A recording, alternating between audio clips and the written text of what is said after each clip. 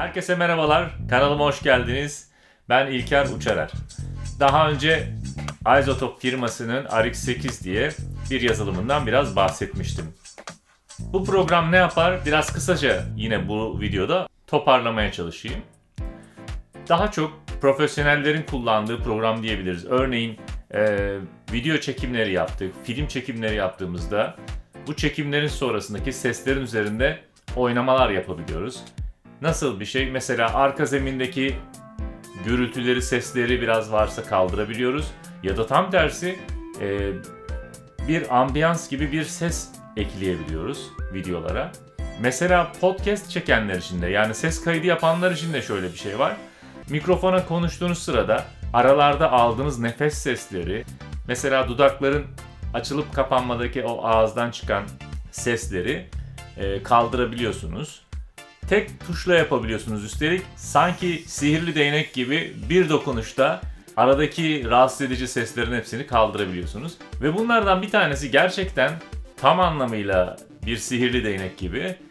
Örneğin dış mekanda çekim yapıyorsunuz ve arkadaki e, araç sesleri, bir gürültü uğultu ya da çocuk sesleri gibi arka zemin sesleri var ve benim sesimin üzerine sürekli biniyor.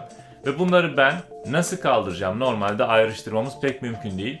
Ama bu programla ve tek klikle çok basit belki bir iki ufak ayarlarla halledebiliyorsunuz. Bütün arkadaki o gürültüleri kaldırıyor ve sadece konuştuğum bu şekilde sanki kapalı bir ortamdaymış gibi ses kaydını dinleyebiliyorum. Diyalog izolasyon olarak adlandırılan bu arka zemin seslerinin yok edilmesi tek tuşla nasıl oluyor? Kendi sitesinde de zaten buna yer vermiş. Şimdi hemen bir göz atalım. Burada arka zeminde gürültüsü olan bir örnek kayıt var. Before dediğinde bu halini göreceğiz. Daha sonra temizlenmiş halini farkını duyuyor olacaksınız. There has been nothing has been changed. It's all the same. It's war, it's fighting. There is no security, no guarantee to go from one place to another. Is the Şu şekilde sağda da görüyorsunuz.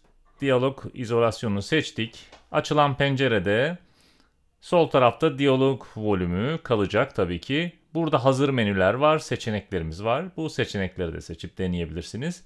Buna gerek yok derseniz zaten bunu aşağı indirdiğinizde tamamen arka zemin seslerini yok edecek program. Otomatik olarak. Buradan yine sensitivity'den hassasiyetini ayarlayabiliyorsunuz. Ya da ambiyans sesinin detaylarını sanırım buradan yapıyorsunuz. Bunu çok denemedim. Ee, sadece şu şekilde yaptığınız zaman render derseniz zaten tamamen arka zemin seslerinden kurtuluyorsunuz herhangi bir gürültüden. Bu kısma bakarsak da good ve best olarak çıktı alacak artık. Sesi temizlenmiş sesi çıktı alacak. Tabi bunu biz e, best diye seçersek daha yavaş bir şekilde çıktı alacak süre olarak ama daha kaliteli alacaktır. Bastıktan sonra işlem tamam. there has been nothing has been changed. It's all the same. It's war, it's fighting. There is no security, no guarantee to go from one place to another. Is the there has been nothing has been changed. It's all the same. It's war, it's fighting. There is no security, no guarantee to go from one place to another. Is the situation. Ve gördüğünüz gibi mükemmel bir şekilde arkadaki gürültüleri yok etti. Sadece konuşma tertemiz bir şekilde kaldı. Programın fiyatı 1199 dolar. İlk etapta biraz pahalı gibi gelebilir bize ama profesyonellerin mutlaka tercih edeceği bir program olduğuna eminim. Çünkü inanılmaz zaman kazandırıyor ve gerçekten yapamayacağımız şeyi bir tıkla bize çok kolayca yapmamızı sağlıyor. Mutlaka demo sürümü vesaire vardır. Bir kurcalayıp deneyin derim. Umarım programı beğenmişsinizdir. Kanalımı desteklemek için lütfen kanalıma abone olmayı unutmayın. Ve bir sonraki videoda görüşmek üzere. Hoşçakalın.